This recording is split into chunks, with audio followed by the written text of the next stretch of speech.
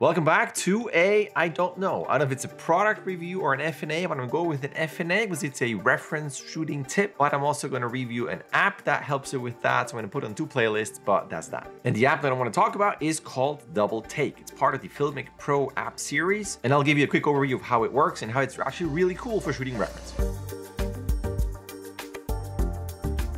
And instead of me talking, I'm gonna record my screen so you can see what this app is doing. This is double take. That is the camera layout here. It depends, of course, on the phone that you have with the lenses that I have here. So you need to check what kind of phone you have and if it works with the app and to what extent. But this is the layout. So you can choose between ultra wide, wide, tele, and selfie. So let's pretend I want to do ultra wide and selfie for whatever reason. Then you can say yes, confirm, so that's the layout that you get. This is filming me like this, and you can see where my hand is. It films the screen here, so you can look around, do all kinds of stuff on top of talking, however your layout is. You can switch this to recording it like that, picture in picture. So whatever you record is gonna be burnt into the screen like this. You can move this around, and you can make this full screen as well if you want to.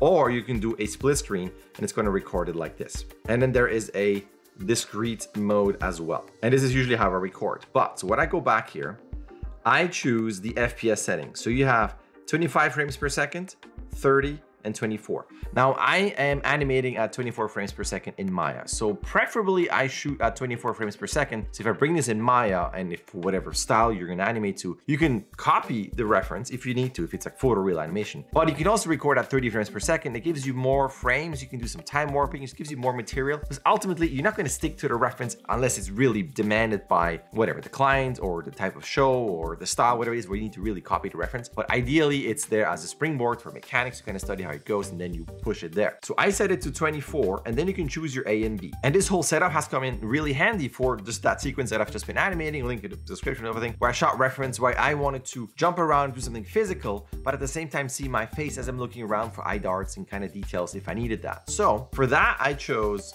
ultra wide and you can choose that as your A or B, but I chose ultra wide and the telephoto lens. So you can, again, you can choose this where you go A and B here. It doesn't really matter. It depends on what setup you want to have. Then hit confirm. And then this is what you see. You turn around? The mic will not pick things up here, but you can see this here. I'm gonna turn around so I can speak into the mic. You can see the full view of the room, a bit of a close-up view, and then in the lower part, you can also make that bigger. This is the expanded wide view.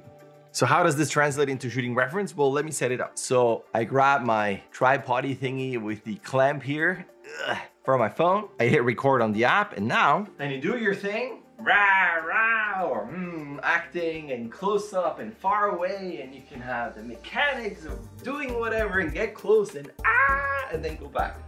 Whatever your shot is. But as you can see, it's kind of hard to film because you don't know what you're filming because your phone is like this. So sometimes I put a mirror behind it so I can see what the viewfinder is doing. I wish there was a an Apple Watch app for that because if you go into Filmic Pro and you have the app open on your watch, you can see that on the watch you have the viewfinder and you can say record and so on and so on. And it's especially really good on the regular phone app. You can see the screen is much bigger. So that's the only drawback. You can't really see what you're doing. But let's get back into the app. I'll show you what I recorded. So once you're done with the app, you can tap on the upper left part here and you can see this is the recording. So because, let's go back here, because I switched to the discrete mode and not picture in picture, let's pretend I'm gonna record this picture in picture. This is that, hello, these are my fingers.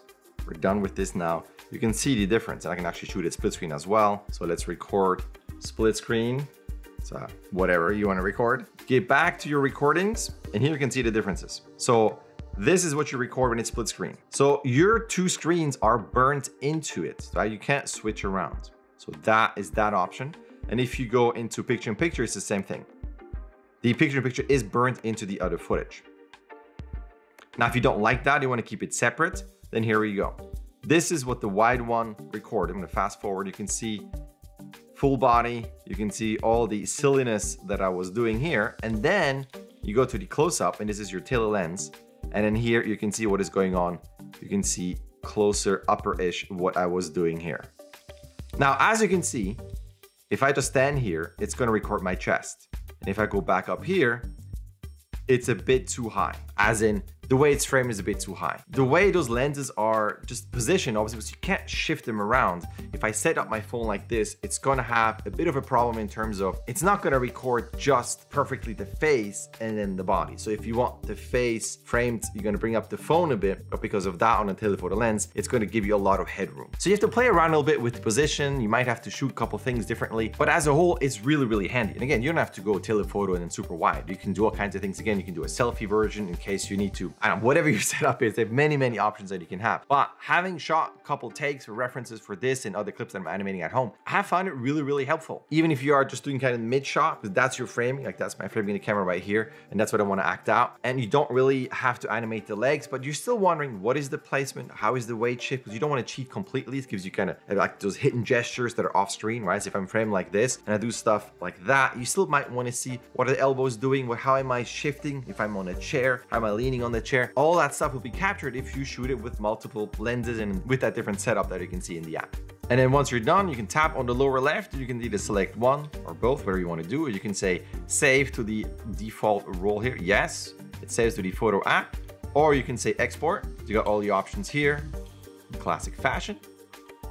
And if you don't like any of this, you can just hit the delete option and that's it, it's been deleted.